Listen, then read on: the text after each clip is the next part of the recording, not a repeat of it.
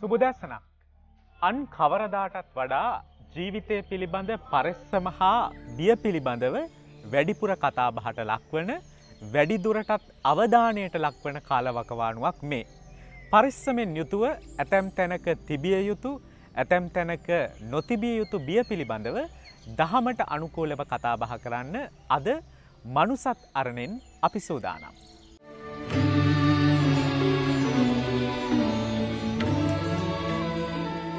අද මනුසත් අරණට වැඩම කළ කඩුවෙල අතුරුගිරිය තුන් අඳහේන සිරි සුධර්මයාන අන්තර්ජාතික සේනාසනාධිපති කර්මස්ථානාචාරය පූජපාද කොටිකාවත්තේ ධම්ම කුසල ගෞරවනය ස්වාමින් වහන්සේ අපිතාම නමස්කාර පෙරදැරි සිටින් පිළිගනු ලබනවා. අපි හාමුදුරුවනේ. බයත් පරෙස්සමත් කියන කාරණාව ජීවිතයට කොයි තරම් වැදගත්ද කියන දේ මේ දවස්වල වැඩියෙන් තේරෙනවා. බිය පිළිබඳව දහමේ මොනවගේ සඳහනක්ද තියෙන්නේ.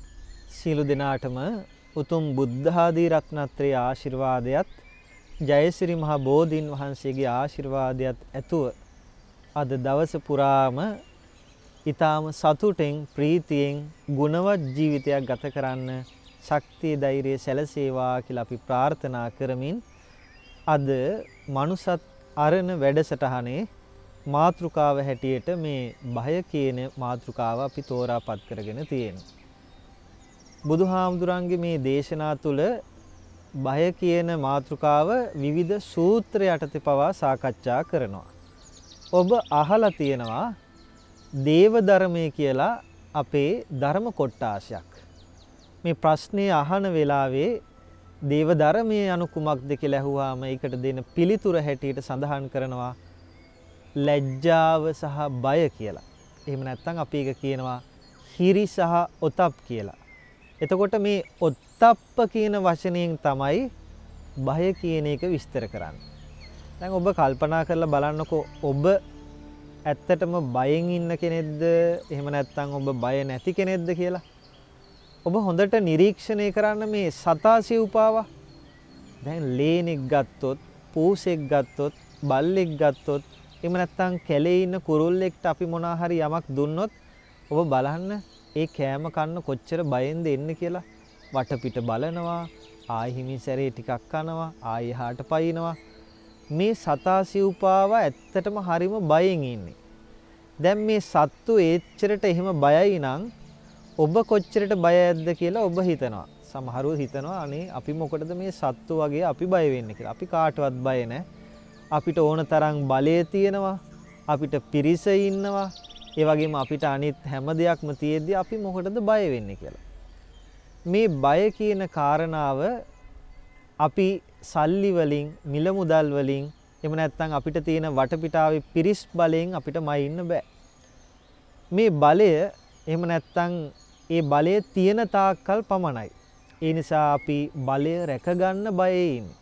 දැන් උදාහරණයක් හැටියට මේ රට පාලනය කරන අය ආපහු ඉස්සරහට ඒගොල්ලන්ට රට පාලනය කරන්න නම් තමන්ත් එක්ක ඡන්දෙ දීපු තමන්ට වැඩ කරන අයව ආරක්ෂා කරගන්න ඕනේ. ඒගොල්ලෝ ආරක්ෂා කරන්නේ නැතුව අපේ තියෙන හයි හත්තිකම් පෙන්වන්න ගියොත් එහෙම ඔන්න හිතනවා ආපහු නම් අපිට ඡන්දේ හම්බෙන්නේ නැහැ කියලා. ඒ නිසා අපි ඒ එක රැකගන්න ඒ බය ඇතුව තමයි දැන් මේ වැඩ කරන්නේ. ඒ වගේම තමයි අපේ මේ ආයතනයක, ගෙදරක මේ හැම තැනේදීම අපේ දේවල් රැක ගැනීමේ බලාපොරොත්තුවෙන් තමයි බය හටගෙන තියෙන්නේ. මං උදාහරණයක් හැටියට ගත්තොත් එහෙම ඔබ ඔබේ ගෙදරට ගේනවා ඔබ ගොඩක් මහන්සි වෙලා හරි හම්බ කරපු මිල මුදල් වලින් වටිනා වස්තුවක්. අපි කියමු ලස්සන පුටු සෙටියක්, එහෙම නැත්නම් හොඳ මේසයක්, එහෙම නැත්නම් ඔබ පාවිච්චි කරන්න ගේ ඇතුළේ යම් වස්තුවක් ඒ වගේ දෙයක් ගේනවා. එහෙමත් නැත්නම් ඔබ ගන්නවා ඔබේ කරේ පළඳින්න මාලයක්, ඔරලෝසුවක්. දැන් මේක අතට අරගෙන කරේ දාගෙන එහෙම නැත්නම් මේ පුටු මේවා හැම එකක්ම ඒ විදියටම තියෙන තාක්කල් ඔබ සතුටින් ඉන්නවා. ඒ කියන්නේ ඒක කැඩෙන්නේ නැහැ, ඒක බිඳෙන්නේ නැහැ කියන බලාපොරොත්තුවෙන්. හැබැයි යම් අවස්ථාවක ඔබ ගෙනාපු දේ paludu වෙනවා කියලා දැනගත්තොත් ඈ කැඩෙන්න පටන්ගෙන කියලා දැනගත්තොත් ඔබ මහන්සි වෙලා හම්බ කරපු මිල මුදල් වලින් ඔබ බයිසිකලයක් ගන්නවා. ඔබ හොඳ වාහනයක් ගන්නවා. වාහනේ සැපට යනකම් ඔබ සතුටුයි. හැබැයි ඔය යනකොට පොඩි පොඩි සද්දයක් එනවා. එතකොට අපි බලනවා මොකක්ද ඒ සද්දේ? ඈ මොකක් හරි ප්‍රශ්නයක්ද වාහනේ? ඒ නිසා අපි ළඟ මේ වටපිටාවේ තියෙන දේවල් නොකැඩී නොබෙදී එහෙම නැත්නම් විනාශ නොවි ඉන්න තාක්කල් අපි බය වෙන්නේ නැහැ. හැබැයි යම් අවස්ථාවක මේවා කැඩෙනවා, බිඳෙනවා, නැති වෙනවා කියලා යම් හැඟීමක් එනවා නම් ඔන්න ඔබේ බය ආරම්භ වෙලා තියෙනවා. මේවා දැන් කොයි වෙලාවෙ ඉතුරු ටිකත් කැඩිලායිද දන්නේ නැහැ කියලා. ඒ මං කතා කළේ අජීවී වස්තු ගැන. අජීවී වස්තු වලට ඔබ එච්චර බය නම් ජීවී වස්තු වලට කොච්චර බය වෙනවද? ඔබ ආදරයම කරන පිරිස ඉන්නවා. සමහරලාට මේ අහන ශ්‍රවණය කරන දකින්න බලන ඔබ ඔබේ අම්මට හරිය ආදරය ඇති. ඔබේ තාත්තට පණ වගේ ආදරය ඇති. ඔබේ භාර්යාවට ඔබේ ස්වාමියාට බොහොම හදවතින්ම ආදරණීය ලෙන්ගතුකම් හැඟීම් ඇති. ඒ අම්මට තාත්තට අනිත් අයටත් වැඩි ආදරයක් ඔබේ කුසින් වදාපු දරුවට ඇති. එහෙම නැත්නම් ඔබේ පුතණුවන්ට දියණියට ඇති. ඔබේ දියණියට පුතාට අම්මට තාත්තට හොඳින් හොඳට සැපසේ ඉන්න තාක්කල් ඔබ කවදාවත් බය නැහැ. හැබැයි පුංචි කැස්සක් ආවොත් එහෙම දැන් මේ කාලේ ගත්තොත් එහෙම වසංගත කාලයක්නේ. මේ කාලේ හදිස්සියවත් නිකන් කැස්සක් ඇවිල්ලා උගුර දනවා වගේ හැඟීමක් ඇවිල්ලා ඊළඟට එහෙම නැත්නම් ওই රෝග ලක්ෂණයක් මොකක් හරි මතුවෙනකොට හරිම බයයි අපි. අපි වටපිටාවේ යනකොට අපේ කොච්චර ආදරය කරන අය කෙනෙක් වුණත් එහෙම කෙනෙක්ට ඒ වගේ දෙයක් එනකොට අපි බයයි.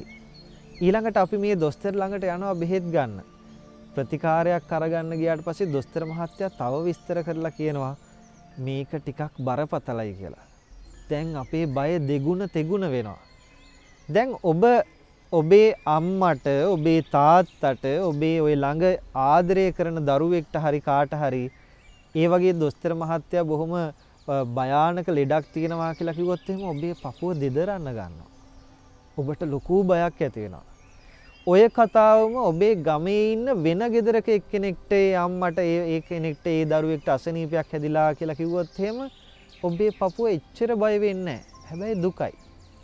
ඒ නිසා ඔබ තේරුම් ගන්න මේ බය කියන එක මතුවෙන්නේ මගේ කියන අපේ කියන හැඟීම වැඩි වෙන තාක්කල් කියලා.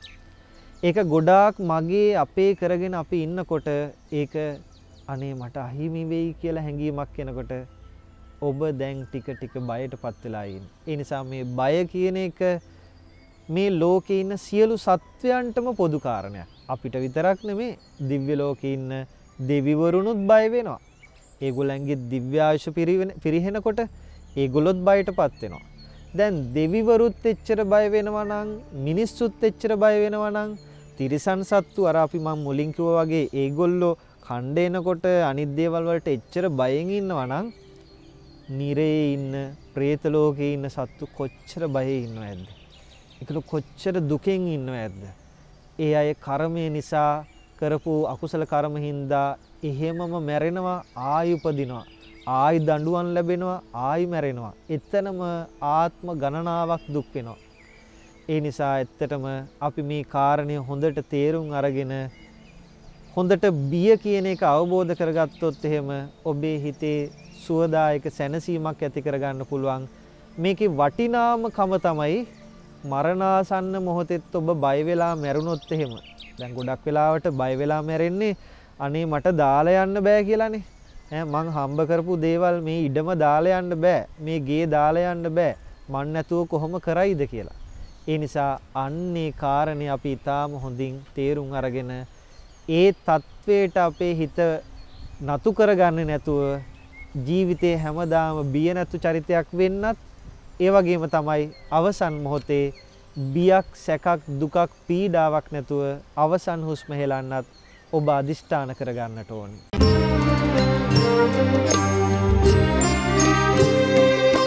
ඔබවහන්සේ ප්‍රවේශයේදී අනුශාසනා කළ දේවධර්මතා. එහෙම නැත්නම් ලැජ්ජාව සහ බය කියන කරණාව පිළිබඳ තරුණ ප්‍රජාව ඒ තරම් උනන්දුවකින් කටයුතු කරන්නේ නැහැ කියන කාරණාව අපිට පැහැදිලි වෙනවා. ඔවුන් වෙත මේ කාරණා පිළිබඳ දැනුම ළඟා කර දෙන්නට නම් අපි මොනවද කළ යුත්තේ අපේ හාමුදුරුවනේ. ඇත්තටම තරුණ ප්‍රජාව ඒගොල්ලන්ගේ තියෙන අර කාය බලය හින්දා ඒ තරුණ ජවය හින්දා තමයි ඒ වගේ හැඟීම් ඇති කරගෙන තියෙන්නේ. කාටවත් බය නැහැ කියලා. නමුත් ඒගොල්ලොත් බය වෙන තැන් තියෙනවා ජීවිතේ. ඒ බය වෙන්නේ ඒ අය අතරින් සමාජයට යම් ලොකු වරදක් වුණා කියලා හැඟීමක් ඇති වුණොත් එහෙම. එහෙම නැත්තම් Tamanට බාහිරව ඉන්න වෙන කෙනෙක්ට විශාල හානියක් මං සිද්ධ කරා කියලා ගත්තොත් එහෙම අන්න ඒක පිළිබඳව හිතලා ඒගොල්ලෝ බය වෙනවා. ඊළඟට තමයි ඒ බාහිර කෙනා මේක දැනගනි. ඒ මිනිස්සු අපිට මොනා කරයිද? මේකෙන් මට මොන වගේ පීඩාවක් විරුද්ධවාදිකමක් සමාජයෙන් එල්ල වෙයිද? කොයි වෙලාවෙ කොහොම මොකක් වෙයිද කියලා ඒගොල්ලෝ තුනත් බය තියෙනවා. දැන් ඔය ගොඩාක් ඔය මේ ශරීරය ශක්තිවන්තකම් තියාගෙන ඉන්න අය ඉන්නවානේ. ඒගොල්ලෝ ඇත්තටම එහෙම ගත්තට එහෙම අපිට කාටවත් බය නැහැ කියලා කිව්වට ඒගොල්ලන් මේ මදුරුවෙක් වැහුවොත් එහෙම බය වෙනවා. මොකද මේ මදුරුවෙක් වහලා එන්න ඩෙන්ගු හැදිලා කිව්වොත් එහෙම අර ශක්තිවන්තකම් මොකක්වත් නැහනේ. ඒ වගේ තමයි මම දැකලා තියෙනවා දැන් ඔය ලේදන් දීමේ වැඩසටහන එහෙම කරනකොට ඔය ඇඟ මහත ගොඩාක් ශක්තිවන්ත තියෙන දරුවෝ කාටවත් බය නැහැ කියලා හිතාගෙන හිටියට ඒගොල්ලෝ තමයි මුලින්ම කලන්තේ දාන්නේ. ඒගොල්ලෝ සමහරලාවට එන්නෙත් නෑ ලේ දෙන්න. ඒ නිසා මේ පෞරුෂය කියන එක ඇති වෙලා තියෙන්නේ කාටවත් බය නැහැ කියන හැඟීම් මත නෙමෙයි. ඒ පෞරුෂය කියන එක ඇති වෙන්නේ සමාජයත් එක්ක ක්‍රියාකාරකම් කරනකොට අපි ඒගොල්ලොන්ත් එක්ක හිත දිනාගෙන ඉන්න මට්ටම අනුව. ඉතින් මේ බය කියන කාරණාව ගත්තහම අපි මේ තරුණ සමාජය දඬුවමට බය වෙන්න ඕනේ. ඒක බුදුදහමේ කොටස් හතරක් වෙන් කළා. අත්තානුවාද බය, පරානුවාද බය, දණ්ඩ බය සහ දුක්ගති බය කියලා. දැන් දුක්ගති බයට නම් බොහෝ අය බය නැහැ. ඒ නිසානේ ඔය කියන්නේ ඕකා මරලා මම හිරේ ගියත් කමන්නේ මම නිරේ ගියත් කමන්නේ මම ඕන ලෝකෙක ගියත් කමන්නේ ගහනවා අදනම් කියලා කියනවා. දැන් ඒ වගේ කියනකොට අපිට තේරෙනවා ඔය මිනිස්සු පරලොවක් ගැන හිතන්නේ ඒගොල්ලෝ දුගතියට වැටේ කියලා කිසිම බයක් නැහැ. හැබැයි දණ්ඩ බය කියන එක දැකලා තියෙනවා ඔබ. දඬුවම කියන එක. අපිට ඒවා ඕන තරම් රූපවාහිනී නැරඹනකොට අපිට දැන් ඔන්න වර්තමානයේ ඔන්න මේ මාධ්‍ය හරහා යනවා යම් දඬුවමක් වැරදි දෙයක් සමාජයට අකටයුත්තමක් කළොත් ඒ අයගේ පින්තූරය පවා එළියට දානවා කියලා. දැන් මේක කරන්නේ ඇයි? ඒක කරන්නේ මේගොල්ලන්ව බයට පත් කරනවා. ඒ බයට පත් කරලා ඒ දඬුවම් වලින් වැළකෙන්න ඕනේ. මොකද දැන් මෙච්චර කල් මූණවල් පෙන්නුවේ නැහනේ. එතකොට එයාට ඒ වැරද්දක් කරලා එහෙම නැත්නම් අවුරුද්දක් හිරේ ඉඳලා සමාජයට ආවට පස්සේ ආපහු එහෙමම ඉන්නවා. දැන් මූණ පෙන්නුවාම ගමේ අය දැනගන්නවා, රටේ අය දැනගන්නවා, ලෝකයේ අය දැනගන්නවා. ආපහු මට සමාජයට මුහුණ දෙන්න බැරි වෙනවා නේ කියලා බයක් ඇති වෙනවා. ඒ නිසා අන්නේ බය තුල ඔබට හැකියාව තියෙනවා ඔබේ බොහෝ නරක ක්‍රියාකාරකම් සම්පූර්ණයෙන්ම දුරු කරගන්න. ඉතින් දැන් මේ බිය කියන එක ගත්තාම මම අර මුලින් සඳහන් කළා මේ තරුණ ප්‍රජාව ඇත්තටම මේවා දැනගන්න ඕනේ කාරණයක්. අපි විතරක් නෙමේ දිව්‍ය රාජවරුත් බය වෙනවා. දැන් දවසක් එක සුබ්‍රාහ්ම කියලා දිව්‍ය රාජයෙක් හිටියා. මේ දිව්‍ය රාජෝත්තමයන් වහන්සේ දවසක් යනවා ඇගේ ඉන්න ලස්සන දිව්‍යාංගනාව දහසකුත් සමග නන්දන උයනට මල් නෙලන්න.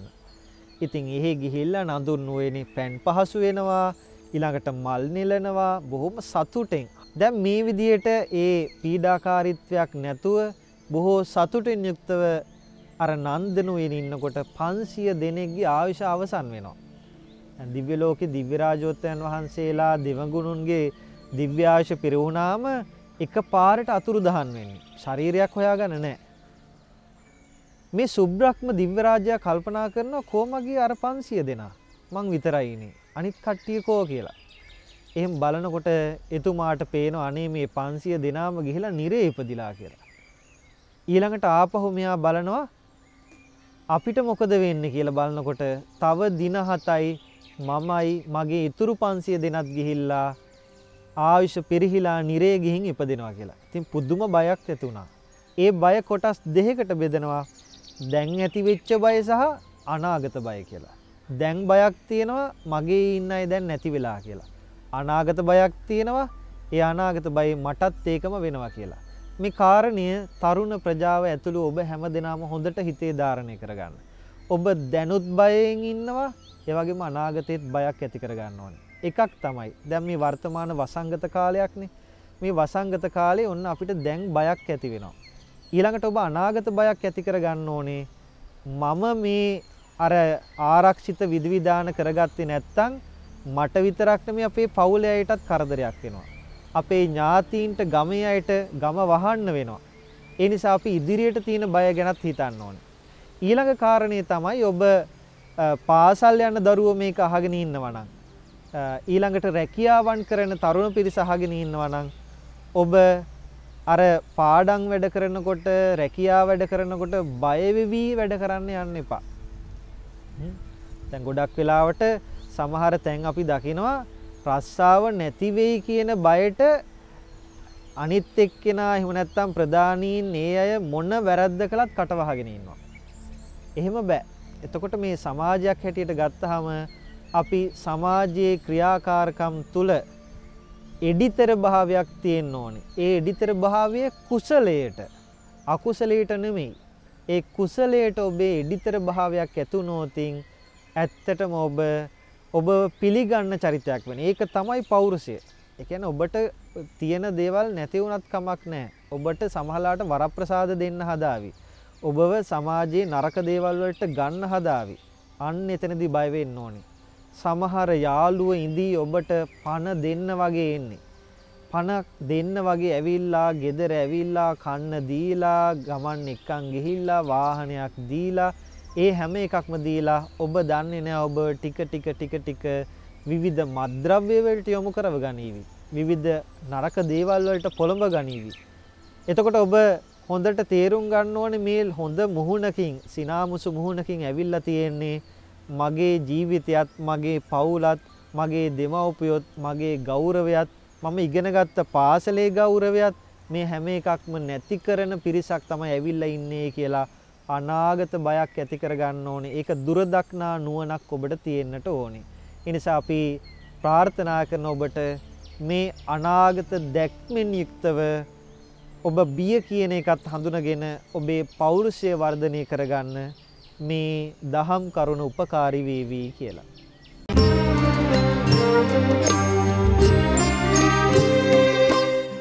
අපි අද දවසේ කතා කරපු මේ බිය කියන කාරණාව එක්තරා කාලයකට විතරක් සීමා නොකර හැමදාම තමන්ගේ ජීවිතය තුළ පවත්වගෙන යන්න පුළුවන් නම් වර්තමානයේ අපි වැඩි අවධානය යොමු කරන මේ කායික නිරෝගීතාව වගේම මානසික නිරෝගිතාවත් පවත්වගෙන යන්න පුළුවන්.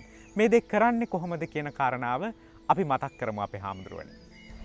ඒක මේ බුදු දහමේ සඳහන් කරන ව්‍යාධි සූත්‍රයේ සඳහන් කරනවා ව්‍යාධි බය කියලා.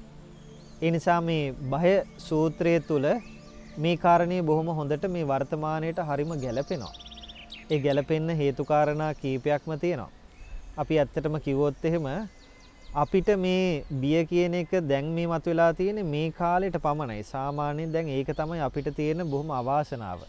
මොකක් හරි වුණාම තමයි ඒ ඒ කාලේ විතරයි අපි ඒ බයටපත් වෙලා තියෙන්නේ. දැන් බලන්න මේ වසංගතයට කලින් අපිට ආවා දරුණු කාල සීමාවක් ඩෙන්ගු වසංගතය කියලා. දැන් ඔන්න ඒ කාලේ වැඩසටහන් කරනවා, සුද්ධ කරනවා, හැම එකක්ම කරනවා. ඒක ටිකක් හොඳ වුණාට පස්සේ ආයෙ අමතකයි අපිට. ඊට පස්සේ අපිට ඒ බය නැහැ. ඒක බුදුදහමේ සඳහන් කරන බොහෝ අපිට කතා ප්‍රවෘත්තිත් කියන්න පුළුවන්. ඒක හරියට අල්ලපු ගෙදෙට්ට හොරු පයින්නවා. අල්ලපු ගෙදෙට්ට හොරු පැනලා ඒ මිනිස්සුන්ව ගැට ගහලා ඒ අයගේ තියෙන බඩු ඔක්කොම අරගෙන යනවා. අරගෙන ගියාට පස්සේ දැන් මේ කතාව ගම පුරාම පැතිරෙනවා. ඔන්න මේ ගමේ ඔන්න ඇති වෙනවා බයක්. චෝර බිය කියලා එකක්. හොරු ඔන්න මේ අපේ ගමටත් ඇවිල්ලා අපේ ගෙදරටත් එයිත් දන්නේ කියලා ඔන්න මේ වටේ ඉන්න මිනිස්සුත් කතා කරලා කියනවා අනේ හොඳට දොරවල් වහගෙන ඉන්න. ඉතින් ඉබි අතුරු මාරු කරනවා. ඒ මාරු කරලා ඔහම ඉන්නවා. ටික දවසක් ගියාට පස්සේ මාසයක් හමාරක් යනවා ආයි හොරු නැහැ. දැන් අමතකයි. ඒ නිසා අපේ මේ කියන తත්වය මේ වර්තමානයේ වසංගතයේ තුල ඉඳගෙන අපි කතා කරෝතින් මේක ඊට වැඩිය වැඩිපුර අපි හිතන්න ඕනේ කාරණා. මේක ඇත්තටම හොඳ පුරුද්දු අපිට මේ තුළින් ඇති වෙලා තියෙනවා තැන් උදාහරණයක් හැටියට මේ මාස්ක එකක් පලඳ වෙලා අපි අනිත් කෙනෙක් ඉදිරියට යනකොට අපේ ආරක්ෂාවත් අනිත් අයගේ ආරක්ෂාවත් කෙනෙක් ගත්තහම සමහලාට මේක හරි පීඩාවක් හැටියට සලකන්න පුළුවන්. නමුත් ඇත්තටම ගත්තොත් එහෙම මේක මේ සමාජයටත් හොඳයි. මොකද මේ අපේ කටින් පිට වෙන සමහර විෂ බීජ ද්‍රව්‍ය තියෙනවා මේ කාලෙට විතරක් නෙමෙයි අනිත් කාලවලත් තියෙනවා. එතකොට ඒක තුලින් අනිත් සමාජයට වෙන හානි අප නතර කරගන්න පුළුවන්. උදාහරණයක් හැටියට දානමය පින්කමක් ගන්නකෝ. දැන් දම් බෙදනවා මිනිස්සු කතා කර කරනේ දාන බෙදන්නේ. මේ කාලේ කතා කරත් කටෙන් මුකුත් විසික් වෙන්නේ නැහැ. මොකද හැමෝම මේ මාස්ක් එක එහෙම නැත්නම් මේ පළඳනාව පැළඳගෙන තියෙන්නේ. එතකොට ඔන්න දැන් පිරිස්තුව දාන බෙදෙනවා. දැන් දාන උයන්නෙත් ඒවා බැඳගෙන. දැන් වෙන්දට නම් ඔන්න මහා පිංකමක් තිබ්බොත් ඉන්නම් ඔන්න හිස වහගෙන කට වහගෙන කිරියාර හදනවා. දැන් එහෙම නෑ. දැන් කොහොමත් හදන්න වෙන්නේ එහෙම. ගෙදරත් හදන්නේ එහෙම. ගෙදර අයත් එක්ක ඒ වැඩ කරනකොටත් එහෙම. ඊළඟට ආයතනයක ගත්තහමත් අපි එකිනෙකා එකිනෙකා අතර තියෙන මේ ආරක්ෂාව කියන එක තමන් තුලත් අනිත් අය තුලත් අපි පරාර්ථකාමී චේතනාවෙන් කරන්න ඕනේ. ඒ නිසා ඇත්තටම මේක ගත්තාම පරාර්ථකාමී හදවතක් යමෙක්ට තියෙනවාද නැද්ද කියලා හොයන්න පුළුවන් කාලයක්. මොකද එහෙම හැඟීමක් නැති අය තමයි අර සමහර තැන්වල ගිහිලා කෙල ගහලා යන්නේ. ඒ වගේම තමයි සමහර තැන්වල ඒගොල්ලෝ මේ අනිත් අය ගැන හිතන්නේ තමන්ගේ බයත් නැහැ අනිත් අය ගැන හිතන්නෙත් නැතුව මාස්ක් එක එහෙම තියෙද්දි ඒක ඔළුවේ දාන් ඉන්නවා එක්ක බෙල්ලේ දාන් ඉන්නවා තමන් ගැන හිතන්නේ අනුන් ගැන හිතන්නේ නැහැ ඒ නිසා මේක ඇත්තටම පරාර්ථකාමී හැඟීම් තියෙන්න ඕනේ කාලයක් මොකද මේ තුලින් ඔබේ වැඩිහිටි ඥාතියෙක්ට මේ රෝගය හටගත්තොත් ඔන්න ඔබ බය වේවි. ඔබේ ඒ බය තියෙනා වගේම මේ සමාජයේ මොනතරම් අම්මලා ඉන්නවද වැඩිහිටි? මොනතරම් තාත්තලා ඉන්නවද වැඩිහිටි? ඒ අයත් අපේ අම්මා. ඒ අයත් අපේ තාත්තා. ඒ ඒ අයත් එහෙම කියලා අපි හැමතිස්සෙම මේ සමව හිතල සමතුලිතතාවයක් අපේ හද තුලේ වැඩිපුරම උද්ගත වෙන්න ඕනේ කාලයක්. ඒ නිසා අපි ප්‍රාර්ථනා කරනවා පින්වත් ඔබ සියලු දෙනාටම මේ හැඟීම් තව තව උද්දීපනය වේවා කියලා. ඒ තුලින් මං හිතන්නේ ඔබ මේ බයේ හැමතිස්සම ඉන්න ඕනේ දැන් රජයෙන් හැමතිස්සම මතක් කරන්නේ සියලු වැඩ කටයුතු සිද්ධ කරන්න හැබැයි ඔබේ පරිස්සම තියාගන්න කියලා. අද මනුසත් අරණට වැඩම කළ කඩුවෙල අතුරුගිරිය තුන් අඳහේන සිරි සුධර්මයාන අන්තර්ජාතික සේනාසනාධිපති කර්මස්ථානාචාරය පූජපාද කොටිකාවත්තේ ධම්ම කුසල ගෞරවනය ස්වාමීන් වහන්සේට අපේ නමස්කාර පෙරදැරිස්තුතිය පිරිනමනවා. ජීවිතයේ අවැසි තැන තිබිය යුතු අවැසි තැන නොතිබිය යුතු බිය කියන කාරණාව පිළිබඳව අපි අද දවසේ වැඩි අවධානයක් යොමු කළේ. ඔබේ ජීවිතේ බිය කියන කාරණාව පිළිබඳ අවධානය යොමු කරමින් පරිස්සමට ඉන්න කියන කාරණාව අද මනුසත් අරණෙන් ඔබට මතක් කරනවා. සමුගන්නවා ඔබට සුබ දවසක් ප්‍රාර්ථනය කරමින්.